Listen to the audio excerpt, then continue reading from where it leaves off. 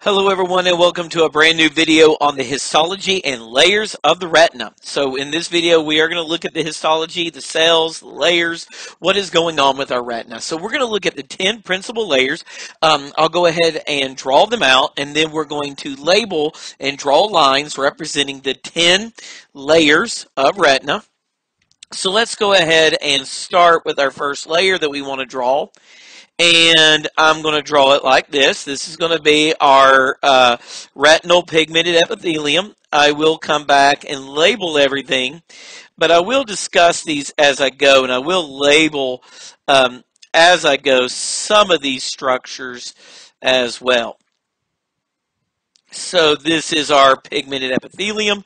Let's just go ahead and add a few of these little um, melanin vesicles in here. So we can add a few melanin vesicles to make that look a little bit more histologically accurate. Okay, we'll add just a few layers there. So that will be our retinal pigmented epithelium. Next, what we want to look at is our layer of rods and cones, our so-called photoreceptor layer. Now, I will draw these out. We'll we'll look at these cellularly and uh, try to draw them with some decent amount of accuracy in terms of their uh, structure. I don't know why that just happened. Um, sometimes I guess I touch the screen as I'm drawing. Um, and it can be a little frustrating when you're trying to do certain things. There we go. All right. Then what we're going to do is we're going to go ahead and draw some bipolar cells. Now, these are very important cells. I'll talk a little bit about function, not a whole lot about function uh, in this video. There will be other, um, I have a video where I discuss the physiology of these cells a little bit more in detail. I do a have a whole video on photoreceptor phys, um, talking a little bit about bipolar cells uh, there. And the last one we're going to do is our ganglion cells. And as we talk about ganglion cells, and then I've got one more cell that I want to talk about um, as we come along to the end uh, that I will draw out um, and then uh, at least one big cell. And then we'll talk about some smaller cells in just a minute. So uh, these are my ganglion cells. So let's go ahead and write the names of the cells we've just done here. So uh, these cells are ganglion cells.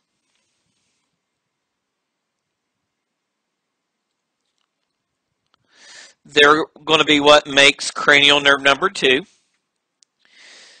These cells here, these are bipolar cells.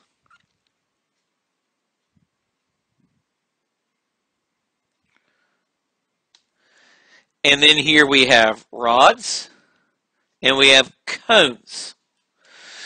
Now what I want to do is just discuss uh, one of these unique little cells that I want to go ahead and mention now.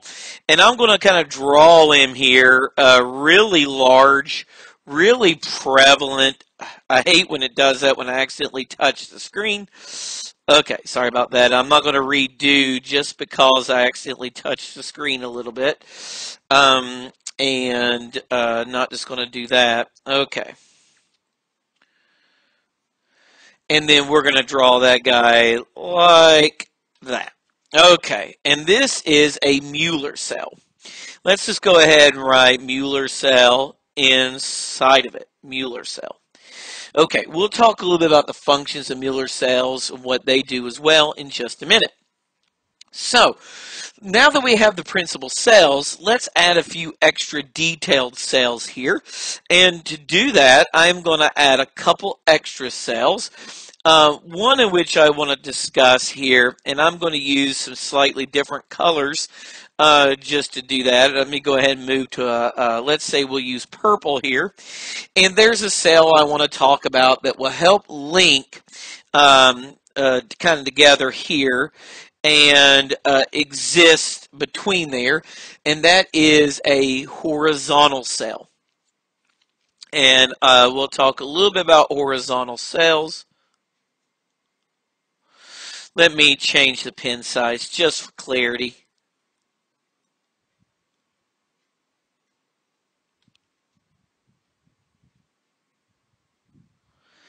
And lastly, I want to add a cell called an amacrine cell. And let's just use this deep dark blue for that. Um, we'll use a deep dark blue, this, this deep dark blue here for an amacrine cell.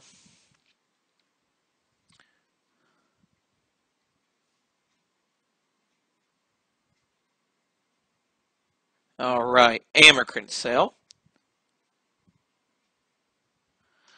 All right, now what we want to do is we're going to go through and look at the principal layers. So we've already discussed one layer here, and this is called the retinal, because it's with the retina, retinal, pigmented, because it's pigmented with um, your um, melanin, pigmented epithelium.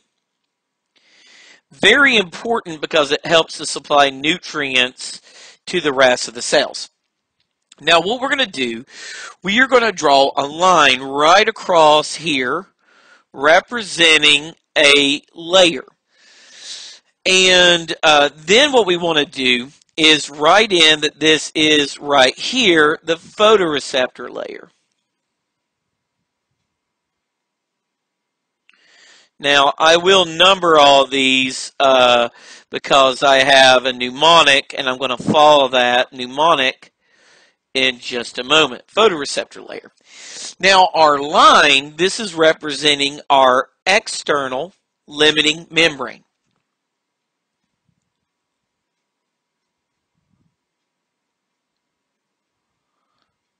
Now, I can remember uh, as a student trying to learn all these, it was definitely intimidating as a student to learn all these different layers.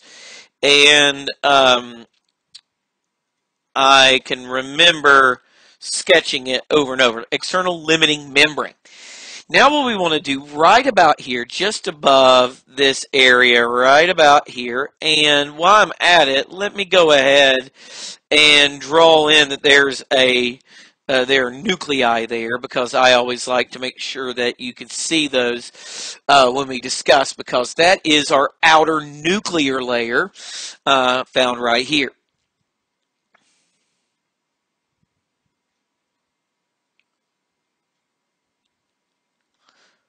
That's going to contain the nuclei of your rods and cones, your photoreceptors. Then what we're going to do is we're going to move down just below this and then just above, right about here. And we have what is called an outer plexiform layer.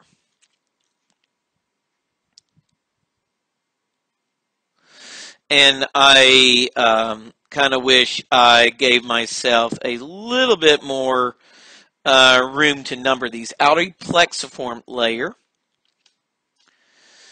All right. Now, then we have a layer here that's going to contain all these nuclei. Now, we're moving more inner now, so this is our inner nuclear layer. We had an outer. Remember in anatomy, we don't use words we don't need. All right. Then once we got the inner nuclear layer, we're going to have all this stuff right here uh, quite a large layer, and this is going to be our inner plexiform layer.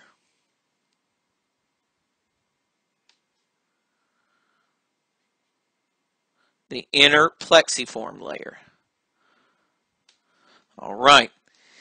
Then we're going to have these cells and the nuclei of these cells. This is going to give us our ganglion cell layer.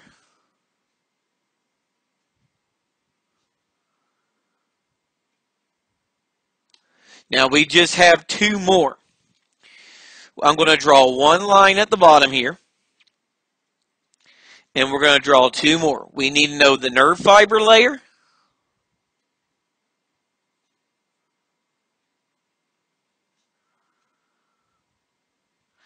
And then lastly, this little membrane, the inner limiting membrane.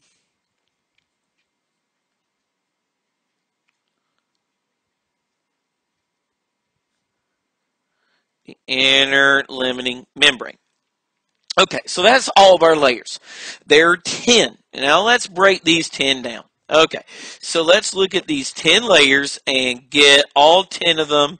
I'll use a nice, uh, let me pick a nice color here that should stand out. Uh, let's use this really unique color. Okay, so what we're going to do is number one, our retinal pigmented epithelium.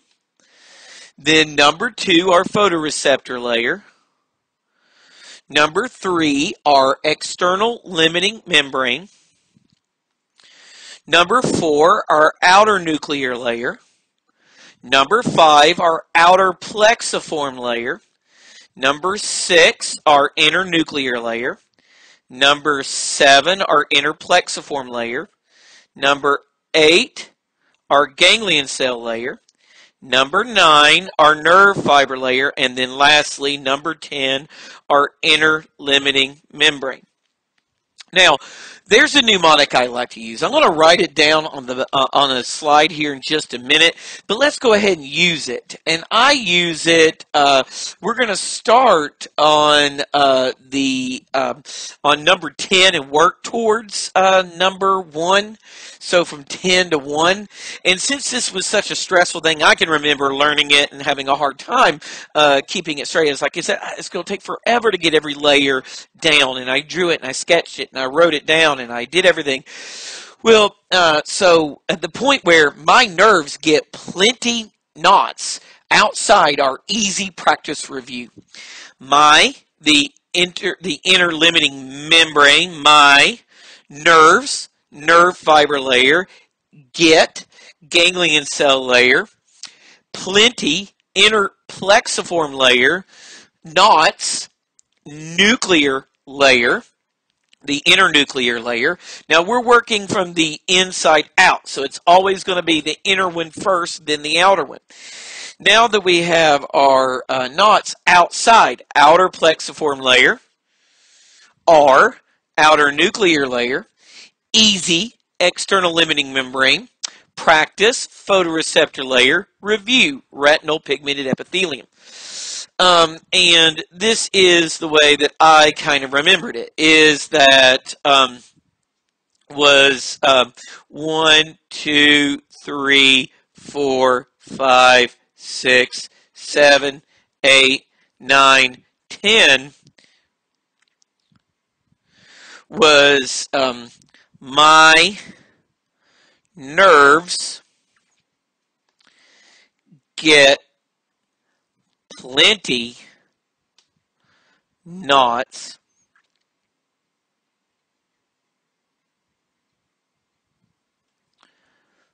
outside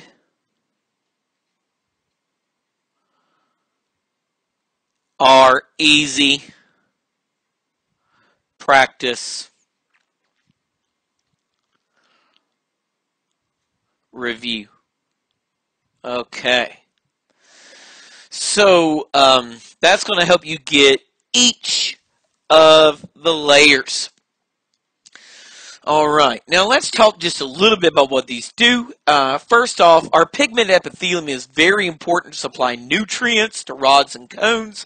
They absorb any excess light by using the uh, pigment uh, with melatonin. They also help recycle rhodopsin. Uh, nearby them will be the choroid layer, and uh, so basically what you're going to do is nearby here there will be a set of capillaries and these capillaries will supply nutrients to the whole thing. Histologically, there will be a bunch of capillaries there. So now rods and cones are sensitive to light. Please remember that uh, uh, rods are good in the dark. Rods are more, there's more of them, uh, and they are uh, more sensitive. Cones see color, they require a lot more light. They are less sensitive and they see color. They're red cones, uh, red cones, green cones, and blue cones. Uh, the uh, so remember the rods and cones and how they work, um, and they also uh, the horizontal cells help integrate between the photoreceptors. Um, your um, horizontal cells, things like that. Uh, they can act to inhibit the ganglion cells. They are integrating between photoreceptors. Uh, uh, your um, sorry, your uh, amacrine cells help inhibit ganglion cells. Uh, the Mueller cells, they help control the extracellular fluids. Uh, sorry, I was looking at two things at once and I got a little tripped up over what I was trying to say. Okay, so uh, this really gets us through all the physiology here. A really simple video. I wanted to been I've been wanting to do it for a while. Is just go over the major layers of the retina and its basic histology. Uh, this concludes our video on the retina. I hope you found it useful. If there's other videos you'd like to see me do, please let me know. But as always, don't forget to give me a comment and a like. And if you haven't subscribed, please do. But always let me know what you'd like to see me do on future videos. But as always, just thank you so much for watching and have a great day.